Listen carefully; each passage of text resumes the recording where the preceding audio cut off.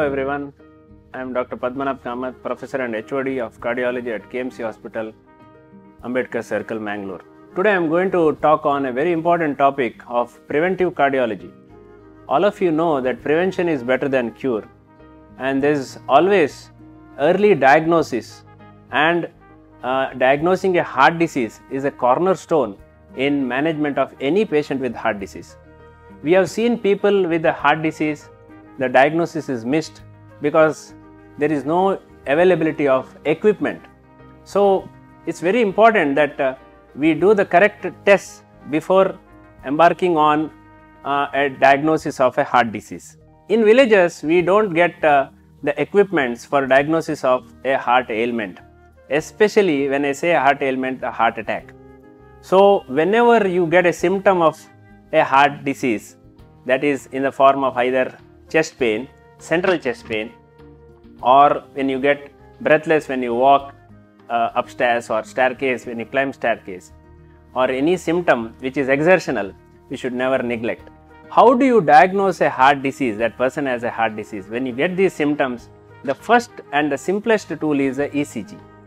But we have seen that this ECG is sometimes not available even in remote areas of our country and villages constitute a large proportion of our country's uh, you know network and we have seen that by making this ECG available in small small villages we are able to diagnose these uh, heart diseases at a rate now more than before.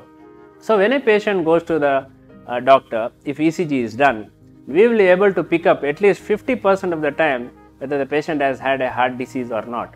And any patient going with a chest pain, if ECG shows changes, immediately the ECG can be uploaded in the WhatsApp or any form of telemedicine technology so that doctors sitting in a city can report this ECG. So, by means of technology, we are able to help a person in distress even in remote areas of our country. We have been able to do that. I, feel happy that uh, being in uh, um, Manipal institution, we are able to do this for the people of our country, especially people living in the villages.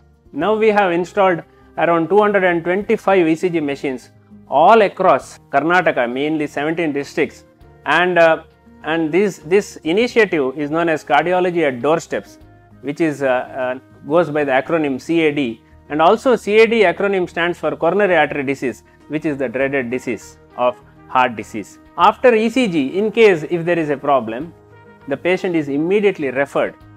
The doctors who are in the villages or in the remote you know, um, peripheries, they pick up this heart disease, they put the image in the WhatsApp and we are sitting in Mangalore or wherever the doctors, cardiologists who are in the group, they report this ECG and the patient is uh, given the correct direction to go to the nearest uh, tertiary center.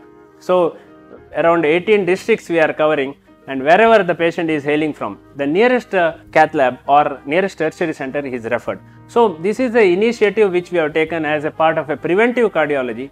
Once the patient reaches the hospital, then uh, it becomes easier.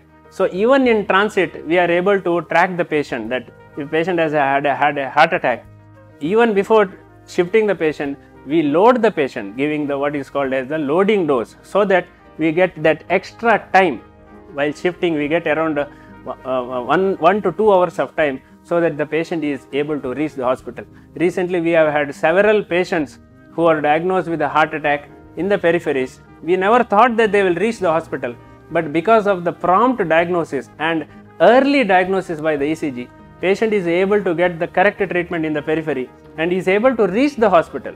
Once they reach the hospital, all technical team and specialized you know doctors who are we are able to deliver the good uh, treatment. So, preventive cardiology is uh, now the main uh, thing in cardiac diagnosis and it is the most important part of treating any patient with a heart, heart ailment.